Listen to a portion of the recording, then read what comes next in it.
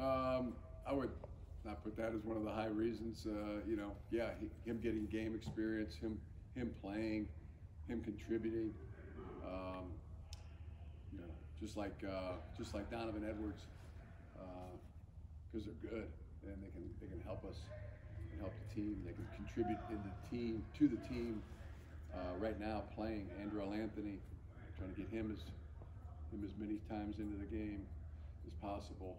Um, I'm gonna say that was some other players, but uh, just because you know, the these uh, players only, I mean, they're only trying to do two things. It's, they're trying to make themselves into the best football player they can be, and they're trying to contribute to the team in any form or fashion that uh, that they can.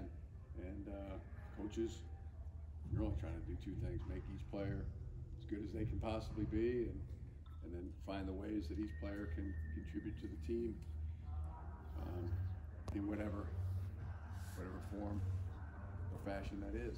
Um, so that's where JJ Donovan and Darrell, mean, they all have the, the license and the ability to, to get as good as they can get and and uh, help our team on Saturdays in games. Time for about three or four more, Chris.